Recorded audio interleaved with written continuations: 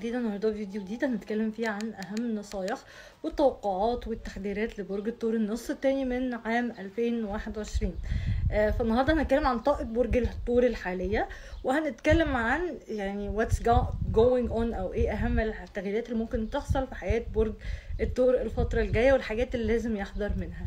آه، كالعادة please ما تنسوش تابعوني على ال social media على انستجرام وعلى الفيسبوك وعلى اليوتيوب وتقولي بتتفرجوا عليا من فين وانتوا برج إيه. وشكرا لكل الناس اللي بتبعت لي مسجز كتيرة حلوة كلها طاقة إيجابية. يعني بت بتعلوا كده من روحي المعنوية يا جماعة بال... بالكلام الحب الكتير اللي بيتبعت لي ده. طيب تعالوا بقى نتكلم عن برج الثور برج الثور الفترة دي طاقتك حالية قولوا لي الكلام ده صح ولا لأ؟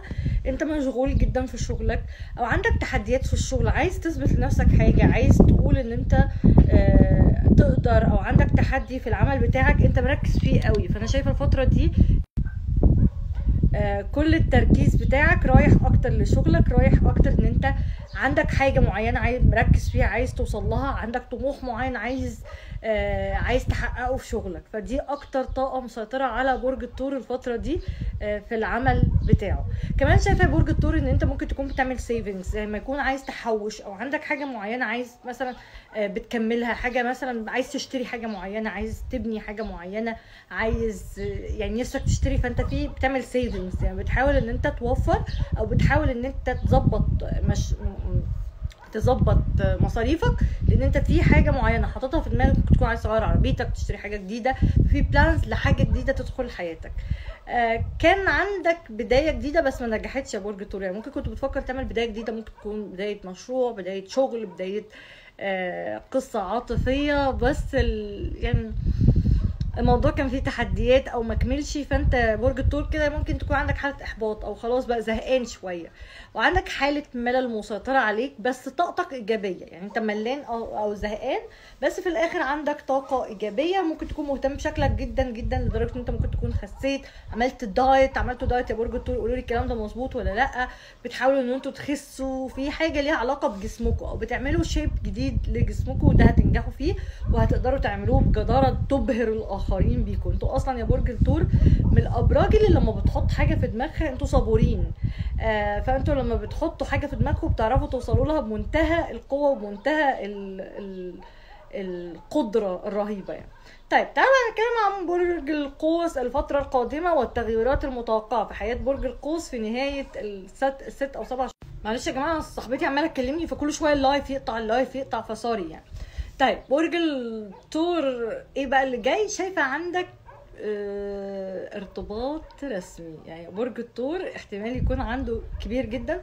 ان هتقابل ال soulmate بتاعك أو هتقابل شخص بس انت الشخص ده هتختاره أكتر بعقلك. يمكن مش هتكون هو قصة الحب القوية قوي ولا الحب الجامد قوي في حياتك. يعني بالعكس شايفة أكتر ان انت مشغل أو انت مشغل عقلك وقلبك. يعني مش هتبقى إيه آه هتبقى تقيلة على الشخص ده أو هو بيحبك أكتر أو ان انت مش بتعبر له عن مش يعني مش رومانسي مع الشخص ده قوي.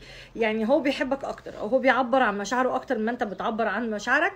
آه وإنت يعني تقيل عليه مش بتقرب منه. أنت واقف مكانك ومستنيه هو اللي دايما يقرب هو اللي دايما بيحاول إن هو يجي ناحيتك. بس أنت واقف يعني إيه ما بتتحركش كتير ناحية ذلك الشخص. شايفاك يا برج الثور عندك ترقية في العمل. عندك يا إما هتترقى تترقى أو تتنقل من مكان لمكان أفضل أو مديرك يمشي أنت تاخد مكانه. عندك ترقية عندك حاجة حلوة في العمل أو خبر حلو في العمل ليه علاقة بترقية أو بعلو شأن أو اسمك أو هتشتهر. لو أنت ليك علاقة بالشهرة عندك شهرة قوية جدا أو هتعمل حاجة هتكسر الدنيا اسمك هيشتهر اسمك هيتعرف. فعندك بداية قوية في العمل أو حاجة هتعملها هت... هتبقى بيج واو حاجة تعملها هتفرقع. هت... الناس كلها تسقف لك والناس كلها تبقى منبهرة بيها وفرحانة بيها وشايفة إن هي big achievement عندك تغييرات كتير جدا جدا. أنا أنا في بداية العام قلت إن سنة 2021 هي عام التغييرات المفاجأة لبرج الثور فعندكم تغييرات عندكم مفاجآت عندكم حاجات كتيرة حلوة هتحصل. عندكم حاجات كتيرة مفاجأة يعني مفاجآت كتير جدا جدا. فعلى نطاق العمل قلت إن في علو شأن في في في أحداث مثيرة هتحصل لك وحاجات كويسة على نطاق ال... عندكم سفر كمان على فكرة. الحم... ال- الثور عنده سفرة آه، في نهايات 2021 يعني definitely إن شاء الله بإذن الله هتسافروا. لو بتفكروا تسافروا فالصحه هتسافروا وهتبقى سفرة كويسة وهتقابل فيها حد مميز. هيبقى عندك تواصل مع جهات أجنبية أو جهات من لغة أخرى. يعني ممكن يبقى مثلا لو أنت بتشتغل في شركة multinational تسافر أو, يبقى في connection ما بينك وما بين ناس مش من ال- مش من نفس اللغة بتاعتك أو مش من نفس البلد بتاعتك. كمان عندكم قدرة على التعبير عن مشاعركم أكتر. يعني شايفاكم متحدثين لبقين هيبقى عندكم ثقة في نفسكم أكتر. زي ما قلت برج الثور شكله هيتغير للأحلى. يعني أنت شوف شكلك دلوقتي بتديله كام في المية برج الثور النص التاني هيبقى شكلك أحلى. هتخسوا. آه، هتغيروا لون شعركم هتغيروا style بتاعكم هت... مثلا هت... هتلعبوا جيم هيبقى هتبقوا أكثر جاذبية. عامة على فكرة برج الثور من الأبراج الأكثر جاذبية بس أنتوا هتبقوا جذابين أكتر بكتير جدا على فكرة. آه طيب كمان شايفة إن عندكم قدرة رهيبة على لا شايفة نجاح يا جماعة. شايفة نجاح شايفة تفوق شايفة حاجة حلوة. طيب الناس اللي بتسألني هل في عودة من الماضي عشان ده لايف آه في عودة لشخص من الماضي ليك يا برج الثور في شخص هيرجع لك.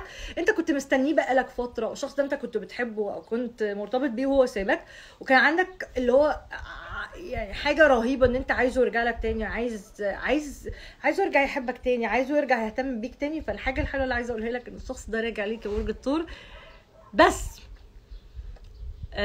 انفورشنتلي للأسف أنت مش هترحب بعودته لأن أنت في الوقت ده هتكون مرتبط أو هتكون بتحب حد تاني أو هتكون في بدايات ارتباط مع حد تاني لأن عندك شخص جديد هياخد قلبك يا برج الثور فبالتالي الناس اللي مستنية رجوع لا انت هتختار شخص جديد أو هيبقى في حياتك شخص جديد. أو لما الشخص اللي هو القديم اللي انت بتفكر فيه دلوقتي أو نفسك ترجع له ممكن يكون من برج مائي على فكرة. لما يجي يرجع لك انت هتقول له أنا آسف جدا I am engaged أو أنا متجوز أو أنا في حد جديد في حياتي أو في بداية ارتباط مع شخص بتحبه. فمع إن انت دلوقتي متخيل إن انت لو جالك الشخص القديم انت هتوافق عليه وهتبقى نفسك إن هو يرجع أصلا بس أنا بقول لكم إن انت مش هتختار هذا الشخص القديم. هتختار الشخص الجديد لأنه هيوفر لك عامل أمان. عقلك هيختاره آه، حاسس إن هو أنسب ليك. ممكن يكون عندك لخبطة في المشاعر أو حيرة ما بين أشخاص يا برج الثور أو أنت حاسس إن الشخص اللي أنت بتحبه دلوقتي أو معجب بيه في حد تاني في حياته أو في هو معجب بحد تاني أو في شخص تاني بدأ يستولي على تفكيره. ودي حقيقة. ممكن تكون أنت دلوقتي الشخص اللي أنت معجب بيه أو في بداية ارتباط معاه مثلا عنده معجبين كتير في ناس تانية بتحاول تقرب منه فأنت ما بتحبش المنافسة فأنت عمال تتفرج وبتحلل من بعيد. آه طيب برج الثور كمان ممكن يكون عندك بداية مشروع جديدة أو بدايات.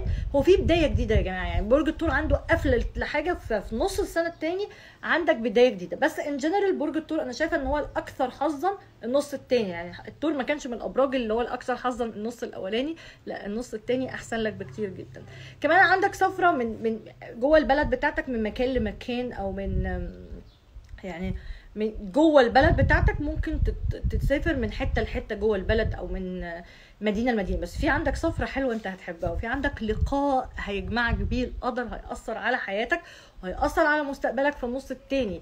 يعني في النص التاني في شخص مهم جدا هتقابله هيغير حياتك. فالنص التاني هو النص بتاع التغييرات الكثيرة. تغييرات كتير قوي هو برج الثور بس تغييرات حلوة تغييرات إيجابية نجاحات تفوق.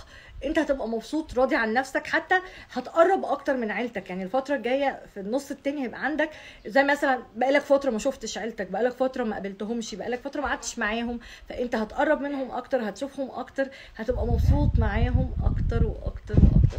I love you all. بحبكم برج الثور اعملوا share كتير كتير لكل مواليد برج الثور واستنوا videos عن أقول لكم إزاي تقدر تجذب مولود برج الثور أو إزاي تعرف إن مولود برج الثور معجب بيك. هنتكلم عن أسرار برج الثور في الحب.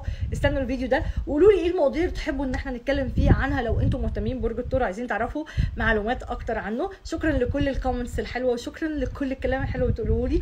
I love you all وكل سنة وأنتم طيبة وربنا إن شاء الله بإذن الله ينصر الشعب الفلسطيني وينصر وينصر سكان غزة يا رب على العدوان الأثيم. يعني ادعوا لهم كلكم. يعني إحنا ما فيش في إيدينا أكتر من إن إحنا ندعي لهم ونتمنى إن شاء الله بإذن الله إن ربنا ينصرهم لأن هم إخواتنا وإحنا بنحبهم كتير كتير جدا طبعا. ربنا ينصركم يا رب وربنا يعني ربنا يعني يحفظكم ويحفظ اهليكم يا رب العالمين. thank you بحبكم قولوا لي القراءة دي تتفق معاكم ولا لا يا برج الثور وقولوا لي هل أنت تتمنى رجوع شخص من الماضي وأنت في بداية إعجاب أو أنت في شخص أنت معجب بيه الفترة دي ولا لا؟ thank you بحبكم bye bye مع السلامة. إيه اللي حصل ننزل ليه باي